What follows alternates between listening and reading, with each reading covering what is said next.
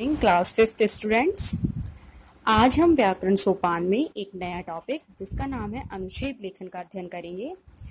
आज इस वीडियो में हम देखेंगे कि एक अनुच्छेद को किस प्रकार लिखा जाता है। अनुच्छेद लिखने से पहले हमें किन किन बातों का ध्यान रखना है और अनुच्छेद को कैसे लिखें।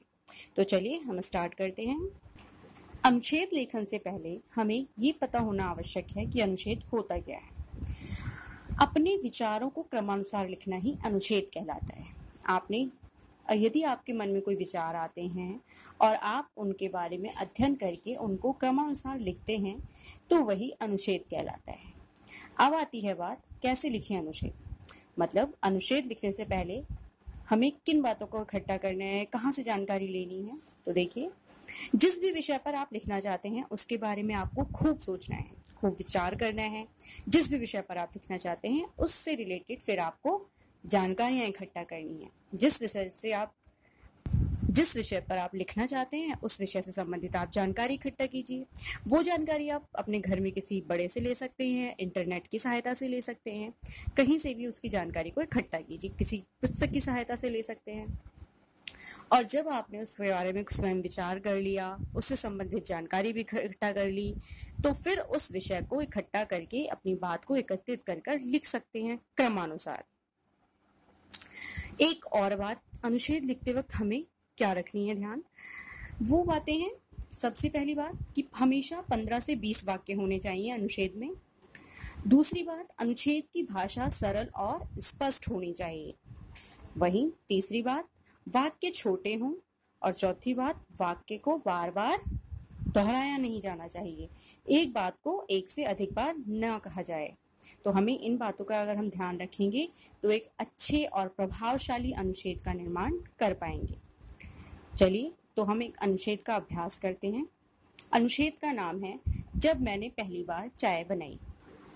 जब मैंने पहली बार चाय बनाई, यह अनुच्छेद है। इसके ऊपर हमें अनुच्छेद का अध्ययन करते हैं। एक दिन मैं विद्यालय से वापस आई तो देखा, माँ बुखार और सिरदर्द से करा रही थी। बिस्तर से उठ भी नहीं पा रही थी। माँ की हालत देखकर लगा कि मुझे उनकी सहायता करनी चाहिए। मुझे अभी तक रसोई घर में कुछ भी बनाने का अनुभव नहीं था। मैंने माँ से पूछा, माँ, क्या आप चाय पियेंगी? माँ ने मेरी ओर देखा। वे शायद सोच रही थी, क्या मैं सचमुच चाय बना पाऊँगी? सबसे पहले मैंने बर्तन में एक कप चाय डाला, फिर गैस जलाकर बर्तन को गैस पर रखा। जब पानी उबलने लगा तो उसमें दो चम्मच चीनी, आधा चम्मच चाय की पत्ती और आधा कप दूध डाला।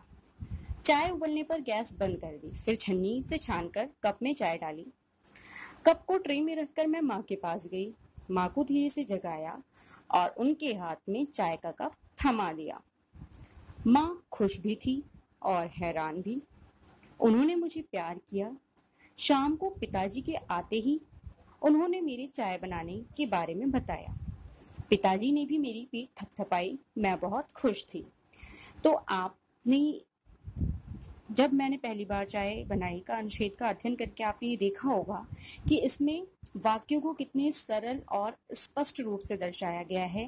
वाक्य बहुत ज़्यादा बड़े बड़े नहीं लिखे हैं छोटे छोटे वाक्यों में अपनी बात को कहने का प्रयास किया गया है और इसके साथ ही किसी भी बात को दोहराया नहीं गया है।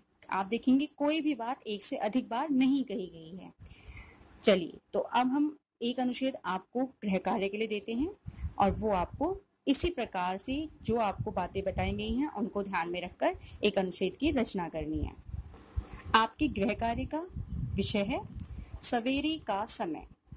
सवेरे का समय किस प्रकार का होता है, इस विषय पर आपको एक अनुच्छेद लिखना है। तो आज की वीडियो के लिए इतना ही। धन्यवाद।